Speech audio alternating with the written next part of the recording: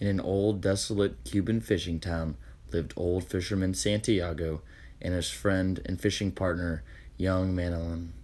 For 84 days he sailed out to sea, threw his nets out, but returned with nothing but ridicule from the other fishermen.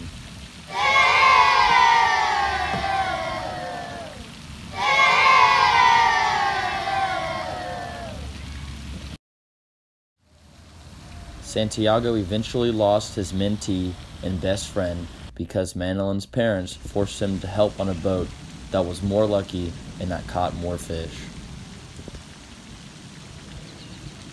It seemed as if Santiago had nothing more to fight for, but he continued to seek redemption of his pride and luck and catch fish to prove that he was a good fisherman. On the 85th day, Santiago went far out past his usual fishing spot in order to find more luck and hopefully catch a fish. Little did he know the adventure that awaited him swimming in the deep blue sea.